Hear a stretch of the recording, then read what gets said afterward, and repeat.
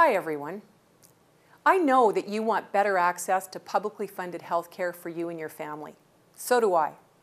My promise and that of my government is that you and all Albertans will have a home in the healthcare system where people know you and your health needs, can help you manage your health, and can help you get more specialized care if it's needed.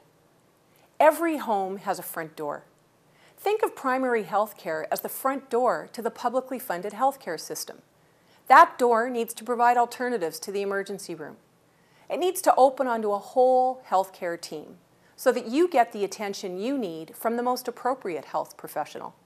That could be a doctor, but it could also be a nurse or a nurse practitioner, a therapist, a dietitian, or a pharmacist. This is happening now in primary care networks in some communities. And it's happening in family care clinics in Calgary, Edmonton, and Slave Lake. We want to see it happen in more communities, right across the province. To make it happen, we need to change the healthcare conversation.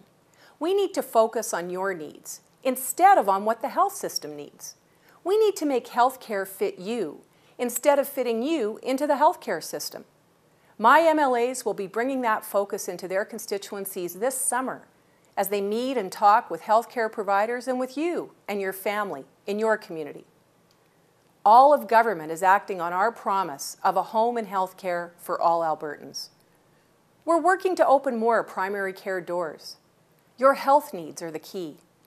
Your health and our promise. That's a powerful combination for accessible health care.